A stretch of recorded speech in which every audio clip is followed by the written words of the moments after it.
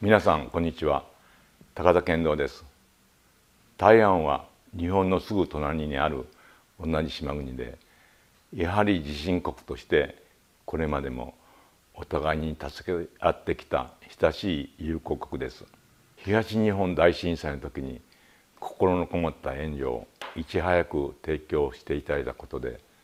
その絆はさらに強くなりました。この起き上がりこぼしプロジェクトはパリで始まりこれまで世界各地で実施されてきましたがいよいよ台湾での開催。しかも台湾の友人たちに餌付けをしていただいた時期はコロナウイルスが世界中に広がり始めたばかりの時で未知の脅威と困難に立ち向かいながらも全世界の平和と復興を願い餌付けをしていただきました。この台湾での展示は